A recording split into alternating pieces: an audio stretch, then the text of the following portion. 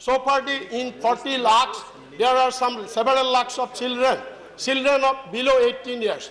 Below 18 years, because of that, sir, there is required of birth certificate or school certificate. But in Assam, the remote area, the inaccessible area, due to illiteracy, the parents have no birth certificate and no school certificate. And the Bhansar school certificate, what was given, that was rejected. And because of that also, many Indian citizens' name have been dropped. Thank- thank my, last, my last suggestion to the Honorable Home Minister, uh, one thing to my TMC friend also, that for migration of the women, married women, the Assam NRC authority has issued this uh, letters to different states uh, for uh, proof of their linkage certificate.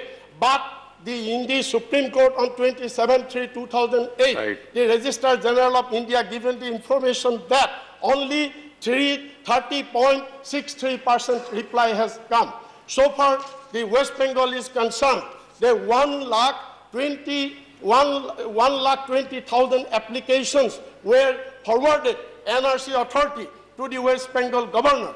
But only 15,000 reply has come so far. So because of that, because of that also, one minute, sir, because of that also, some genuine names, some genuine names have been dropped.